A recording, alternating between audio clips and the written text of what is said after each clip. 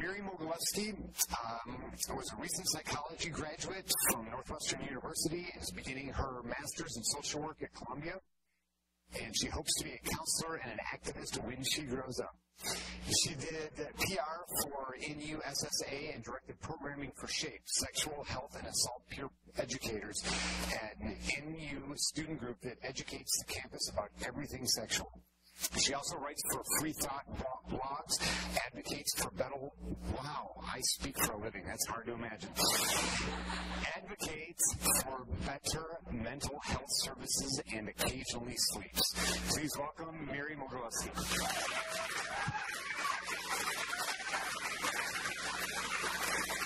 Hello.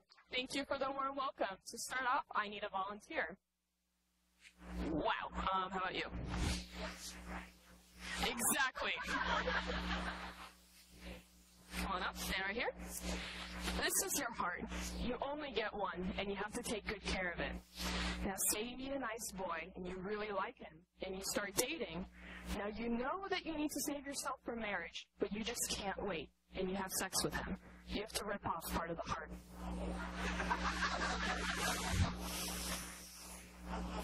Your perspective goodbye left species. so you're teenagers, so the relationship breaks up. And you meet another boy and you start dating. And you have sex with him. Rip off another part of the heart. I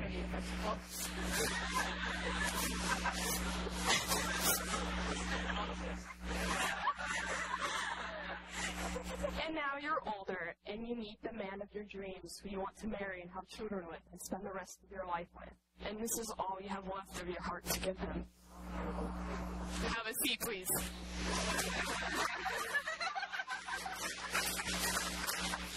That was an example of abstinence-only sex education. That's how I learned about sex in public school in fifth grade, about an hour west of here.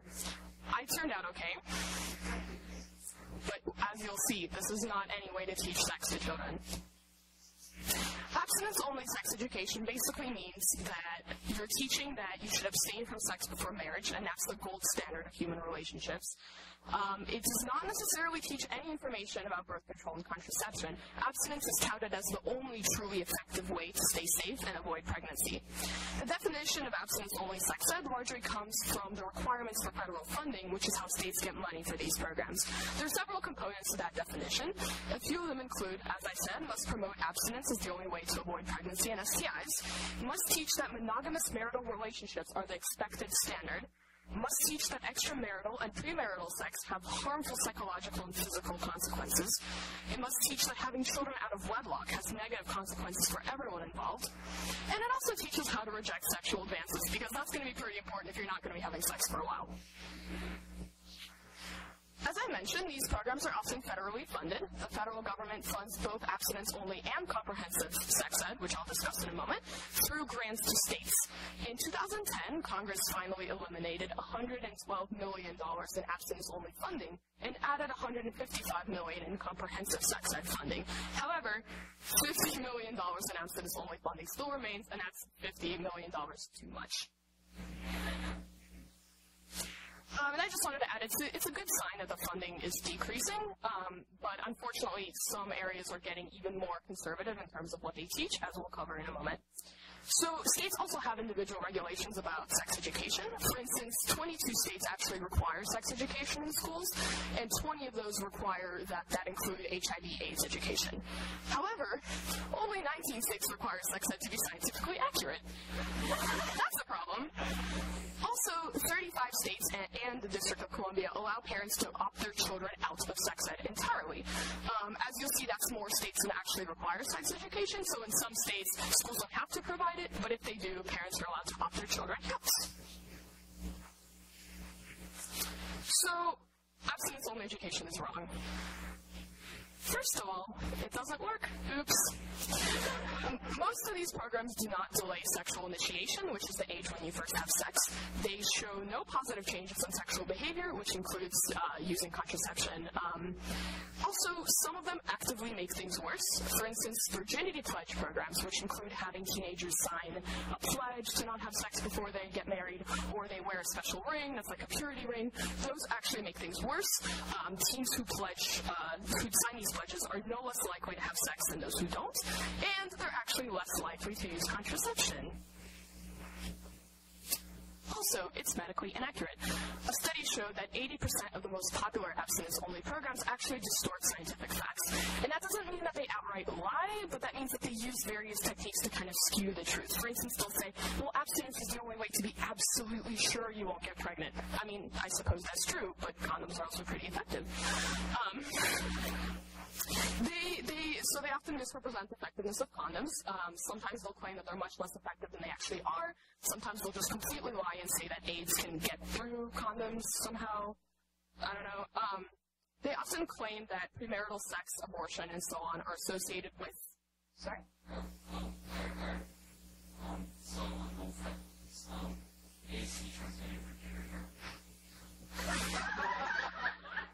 I don't even know how to respond to that. No.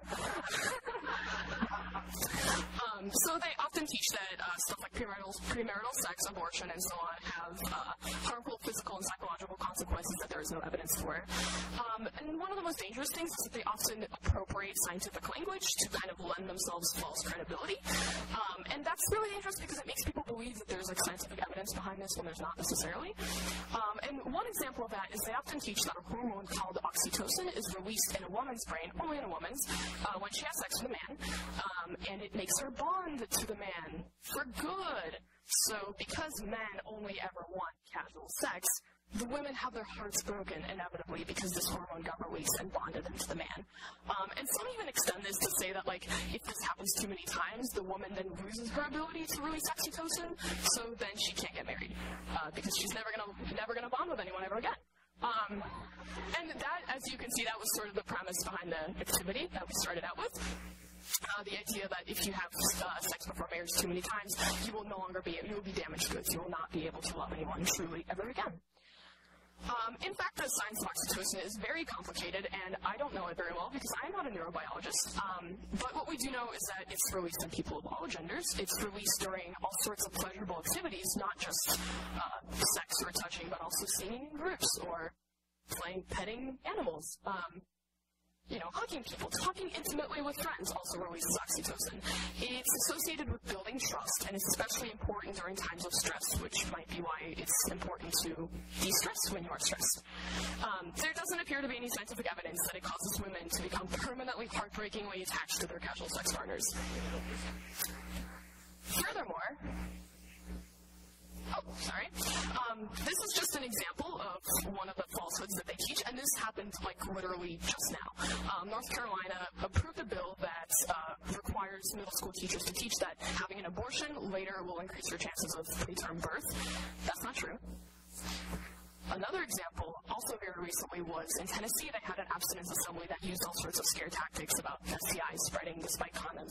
Uh, and the most the most terrible thing about this is that they actually interviewed uh, the school representative, and he said something like, "Yes, you know, it's unfortunate that this happened. We had no idea that this was going on. However, we would hope that our students are able to separate fact from fiction."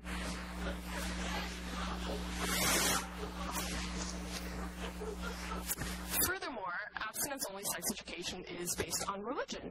Um, this is often a little indirect because it would be much more of a constitutional challenge to openly preach religion in a classroom, although I'm sure that it happens. Um, but it's, it's more of a subtle thing. So these programs are very centered on virginity, you know, like the virginity pledges and the purity rings and being virgins in marriage. These are religious concepts. Uh, virginity doesn't have much of a medical basis for it. Um, they also, it's important to look at who supports these programs. It tends to be religious conservative politicians and churches. Uh, churches often have these programs. They sometimes receive federal funding for them as well. Um, and also, these programs, they, they, their emphasis on marriage and monogamy and heterosexuality uh, sort of explicitly has a religious basis because there's no scientific evidence that, you know, only married sex is safe sex. You can get STIs, you know, even when you're married. You can get accidentally pregnant even when you're married. Um, and yet that they maintain this standard that marriage is, you know, the one true way to have healthy sex. Another problem is that it leaves out a lot of important information, like most of the important information. Um, see, other than the fact that STIs are a thing and abstinence does help prevent them, it pretty much leaves out everything about actually preventing them. It doesn't really discuss safer sex, and when it does, it misrepresents how well it works. Um, they might mention condoms, but they never talk about dental dams, female condoms, hormonal birth control, IUDs, uh, because that would be bad. Uh, they, it doesn't emphasize consent and talk about the ways in which sexual assault can actually be prevented, that is, by getting clear consent from your partners um, and in fact, by framing all sex as just bad and dirty, it kind of hides the distinction between consensual and non-consensual sex, because in any case, it's bad. Um, it doesn't teach teens how to communicate openly with their partners about sex and relationships, and it doesn't teach them that talking openly about sex is a good thing. The only communication skills that it teaches are just say no, which isn't really the best way of uh, thinking about sexual communication because saying yes is also important. It doesn't. It doesn't necessarily uh, teach about reproductive health in general, except for STIs. Um, you know, how to prevent yeast infections, when you need to get a Pap smear, um, and those are important things for people to know about their bodies. And obviously, the existence of non-heterosexual, non-cisgender people is never even acknowledged, um, which I guess is a little better than framing it as awful and simple. Um, and not only does this make LGBTQ teens feel like their experiences don't matter, but it also keeps them from learning important information about their own health and about issues affecting their communities. Teaches harmful myths about sex and sexuality. It teaches that sex is shameful and dirty, especially for women. It teaches that sex outside of monogamous marriage is miserable and dangerous. It teaches that there's only one soulmate out there for you, and you must be abstinent until you meet that soulmate and get married.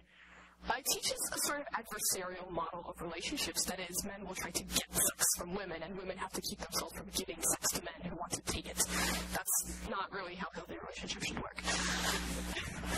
And it teaches that traditional gender roles are healthy, um, and it does this by sort of implicitly confirming them, like the fact that men will be the ones who pursue and women will be the ones who are pursued.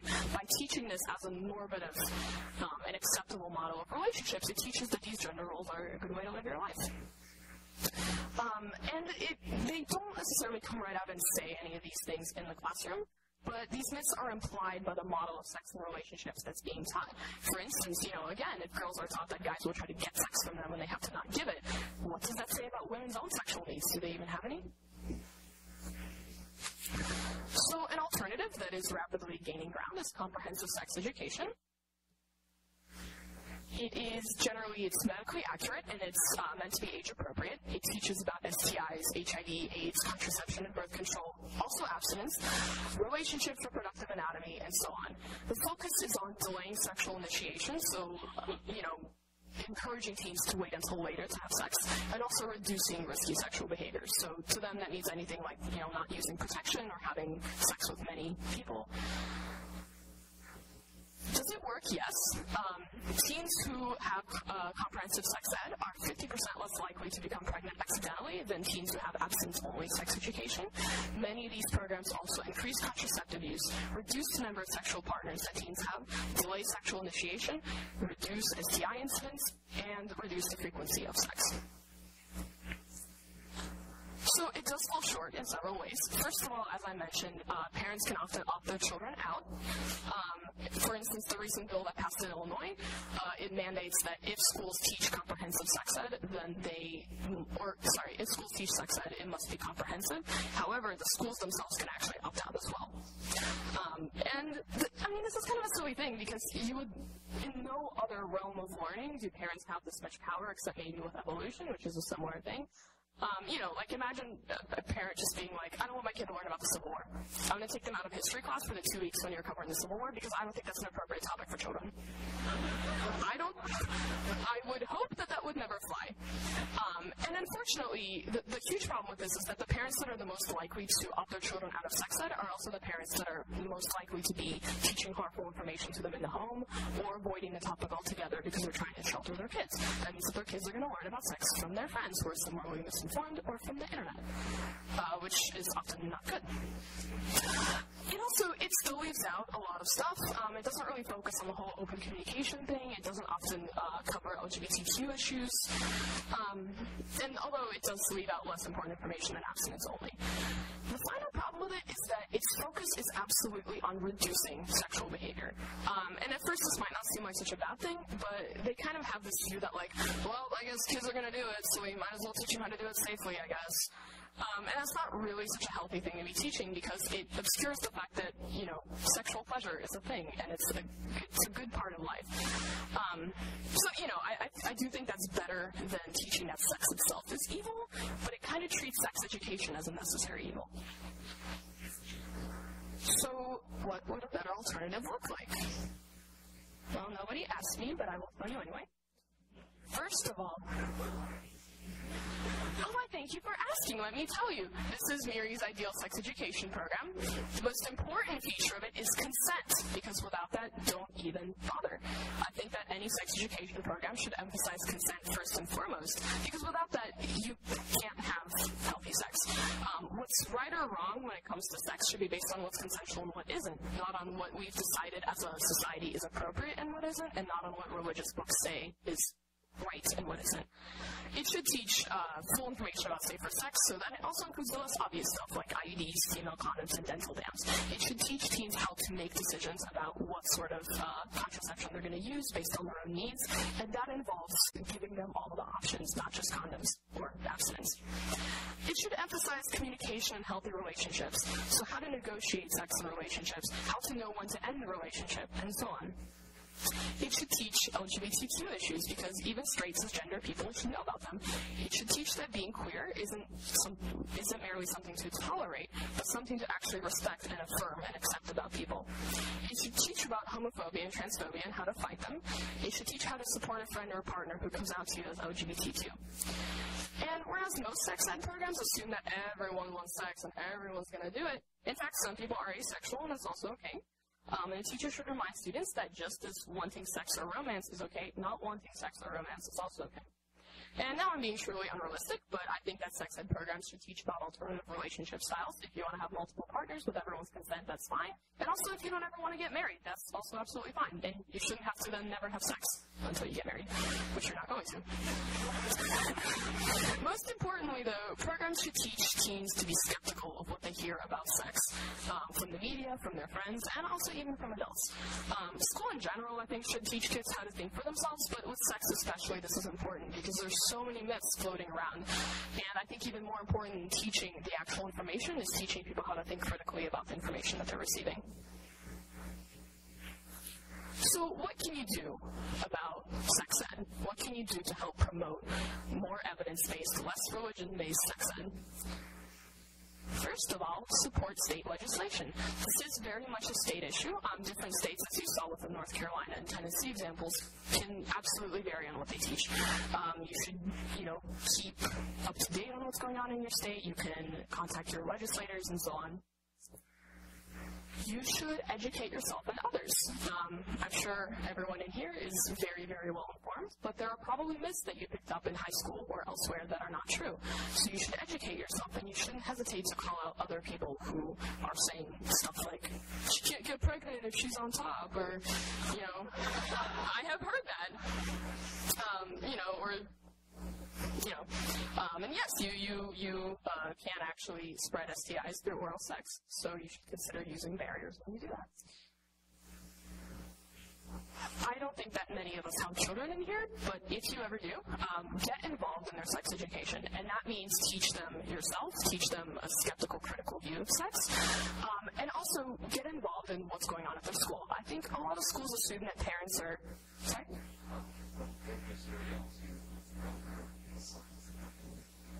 Yes, exactly. And I will cover a few resources at the end that you can give to kids. Um, I think a lot of schools assume that parents are terrified of children learning about sex, and so some schools will just not have any sex ed. For instance, after elementary school, after that awful experience, I didn't really have anything ever again. Um, in fact, I think it would be good to model that some parents think that it's good and appropriate for their kids to learn about sex. So, you know, talk to your kids' teachers, talk to the principals, superintendents. Why should you care about this stuff? I think most of us are out of high school now, so it's not an immediate concern. Um, but I would argue that it still is. For all of us in immediate concern. First of all, um, just from a public health perspective, sex education is a public health issue. Anyone who's sexually active may be harmed by people who learned all this inaccurate information about sex, and all of us hopefully want the people in our communities to be healthy and to be able to choose when they have children. It's also an issue of church-state separation. Uh, the rhetoric of abstinence-only sex education is at times overtly religious, at times a little less so. Regardless, it's not based on evidence, and it does not belong in public schools. It certainly shouldn't be funded by the federal government. I think we can also all agree that education should be effective and use best practices. The research is rapidly piling up, showing that abstinence-only education simply doesn't do anything or actively harms. Why should we accept education that doesn't work? Finally, abstinence only has harmful sociocultural implications. Um, it's some of the myths that I discussed earlier. You know, and unfortunately, full explanation that is beyond the scope of this talk, but the nutshell version is that abstinence only minimizes, minimizes the importance of consent, emphasizes traditional gender roles, promotes the myth that all men want to get sex and all women should avoid giving sex, and it holds up monogamous marriage to a standard that it just cannot live up to. The upshot is this, we cannot live in a secular society without secular sex education. If you want to learn more, these are a bunch of uh, these are a bunch of resources. You don't have to write them down because this is all online. And if you want to contact me for any reason, this is my blog, my email address, my Twitter handle, and my Tumblr, which is super cool. And here are my references. Thank you very much.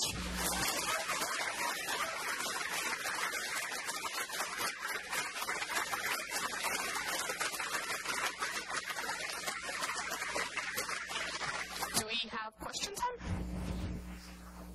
Cool. Anyone have questions? Um, just one more resource I really want to encourage. The Unitarian Universalists have a sexuality education program called Our Whole Lives, um, and it's awesome. Um, so, you know, if you're looking for support when you're teaching your kids about sex someday, you know, you don't have to do it all yourself.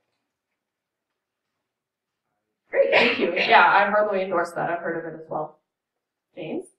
Uh, I loved your talk. I wonder what you think, and this is a serious question that I've been pondering about for a while. I don't think we should also teach young people sexual technique, like we should teach them good technique. And I notice that that's not on your list, and I wonder what you think. I'm not kidding. I think people, we should ex- we should hope that people have a good sex life, not just a safe one. I wonder what you think about that. I actually agree with that. Um, I really do. I think it would be a lot harder to encourage something like that than the stuff that I did talk about, which is why I didn't include it. Um, but I support that uh, wholeheartedly. That's also what we teach in our um, college sex purification program. Anyone else? Um, how do you, like, what do you feel about promoting a sex positive viewpoint to, like, older high schoolers? Like, um, I don't know, like saying that it, like, how, how would you pre- present being sex positive to them? Because it's such an odd complex that's coming off of the abstinence only. Do you mean people who have already gone through abstinence only programs and are now, and now you're trying to? Safe to assume that most people my age and under have went through abstinence only programs. yeah, well. I mean, that's that's basically what I did in my um, in my peer education program, um, and it involved a lot of myth busting. Um, one thing that we do is we often actually ask people, we'll ask them, like we do this exercise called a continuum, where on one side of the board we'll put agree, and then on the other side we'll put disagree, and then we ask them, you know, do you think that sex should only be within marriage, or you know, is it possible to have casual sex without falling in love? And then you know, people stand wherever along the line that they uh, that they believe. Um, and this is a really useful exercise because it exposes uh, students to like the full kind of range of opinions that there are in the room. And then you ask different people, why did you choose to stand there? And then it, it just exposes them to different opinions and it doesn't involve having to actually tell them like, no, you're wrong. You know, I do think that if someone spouts off some, you know, oxytocin crap, I think it's totally legit to say, actually, the research doesn't really show that. Um, but otherwise, getting people talking and just exposing them to other people's opinions, I think can be really useful for older people. Okay. Thank you very much.